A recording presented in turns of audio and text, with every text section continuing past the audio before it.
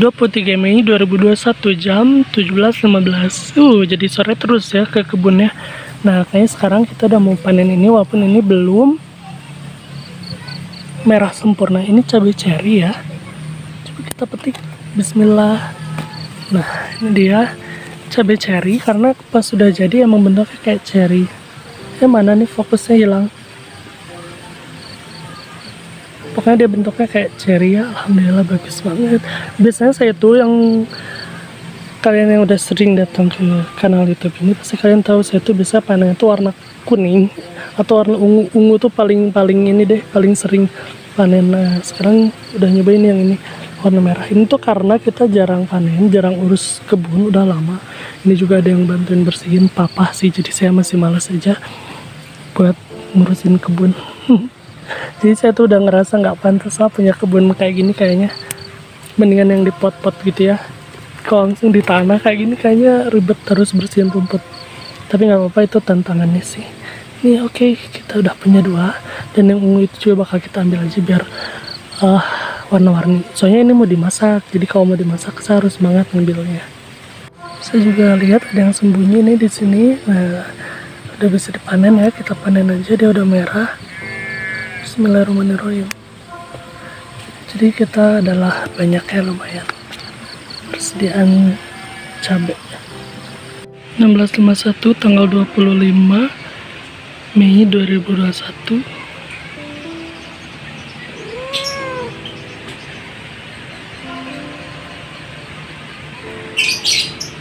ini adalah wall plant terbaik dan ini udah makin subur karena udah dua hari hujan terus.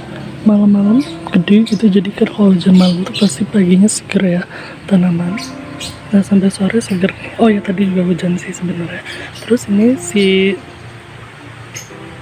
ginseng jawa juga. Si ginseng jawa juga dia jadi bagus lagi bentuknya karena beberapa yang lain tidak sebagus ini. Ini keluar juga nih daun-daun barunya. Wow. Selalu kena zoom ya. Ini daun-daun barunya. Terus saya suka aja dia kelihatannya sehat. Padahal cuma di planter wall planter big. Oh ini udah keluar. Ini nih sulur jadi kalau kita mau fokus ke bawah ini dibuang. Dan ini juga daun-daunnya harus saya pangkas juga. Jadi saya pupukin lagi. Oh udah dipupuk deh pupuk kandang waktu itu. Jadi emang rencananya sih nggak tahu ya si strawberry kan susah banget. Jadi emang rencana itu mau dibikin uh, bayam aja. Kalau bayam kan kelihatannya subur ya. Jadi seneng liatnya tapi kalau strawberry agak susah. Cuman ini kayaknya bagus yang di atas ini. Mungkin ini juga akan dipindah ya. Strawberry di atas terus uh, bayam-bayaman di bawah supaya kelihatannya bagus. Gitu deh ini apa sih? Bayam juga. Baru ditanam itu mah.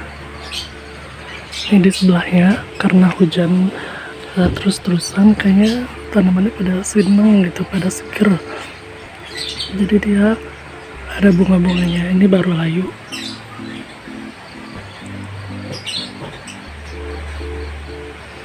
Tuh krokot di pot kecil aja bisa berbunga.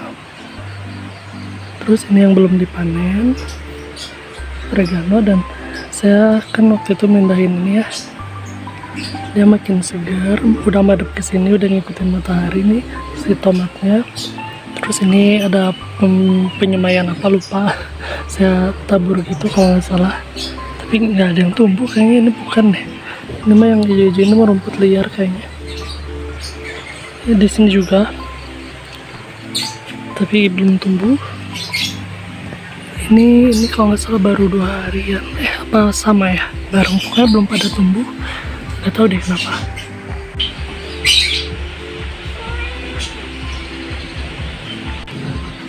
Nah ini sebenarnya udah bisa dipanen. Mungkin kita panen aja ya. Karena dia udah kayak gini keberatan daunnya aja nggak ambil. Nah. Oke. Okay. satunya lagi juga bisa kita panen juga. Oh dia sebenarnya tumbuhnya di tengah ya. Cuman jadi ke pinggir. Karena keberatan kayaknya. Ups, salah ngambil dia sisa daunnya kecil. Maaf.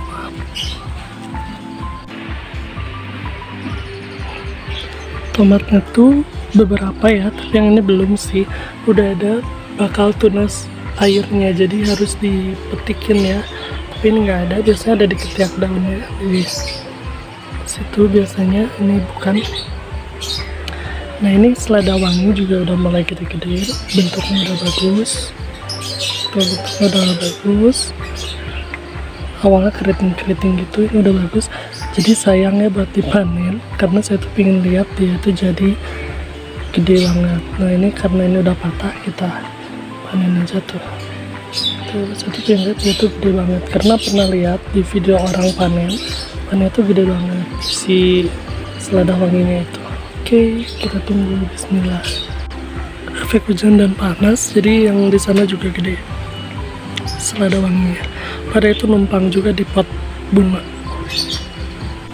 Selada wangi itu enak ya. Dan ada emang ada wangi-wanginya gitu.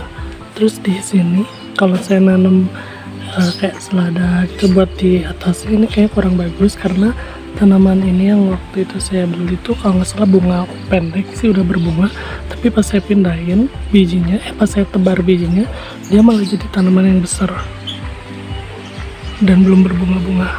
Nah tanaman yang ini dia tuh makan banyak air. Airnya pot yang ini polybag yang satu ini. Dia tuh cepet kering. Jadi kalau kita nanam sayur yang akarnya kecil-kecil kayak gini yang yang dangkal-dangkal akarnya dia tuh gak bagus karena rebutan air. Di yang paling atas pasti kering duluan. Tuh yang di situ juga selada romen merah juga kurang bagus padahal ditaruhnya di bawah sih jadi nggak kena panas banget tapi tetap aja habis airnya tuh cepat habis yang bagian atasnya.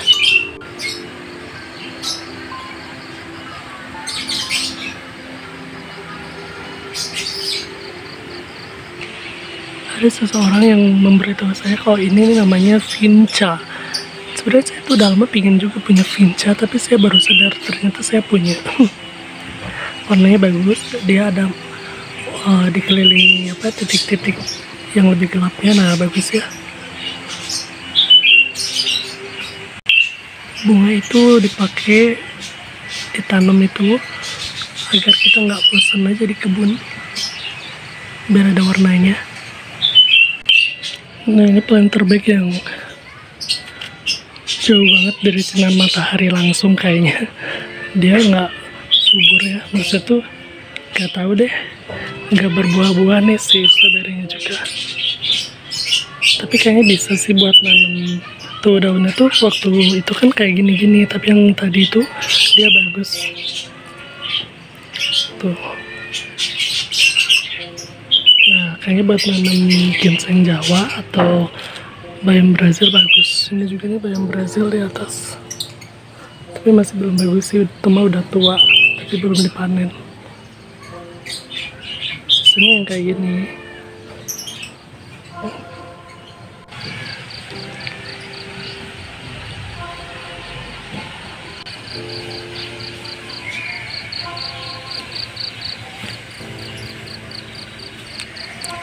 Ini bayam brazilnya kayaknya rusak gitu ya kelihatannya.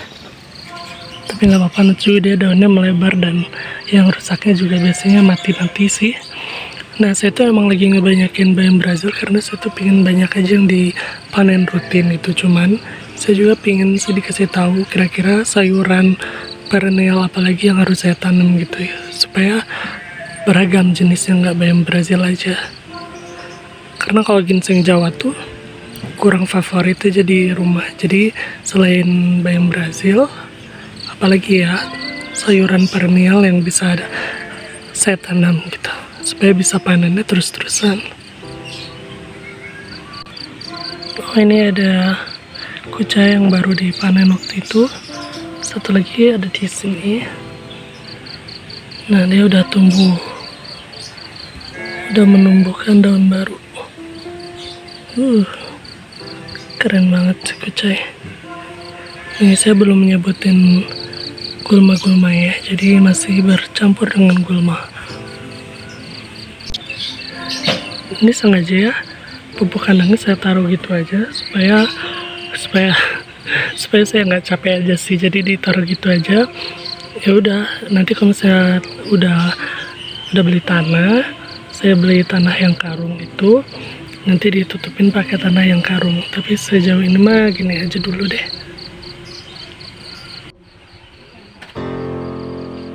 Hmm, harusnya dipangkas nih si kenikir ungu harusnya ini dipangkas atau daunnya kita panen aja ya. Tapi harus konfirmasi dulu mau dimakan apa enggak nih. Jangan sampai dipanen tapi nggak dimakan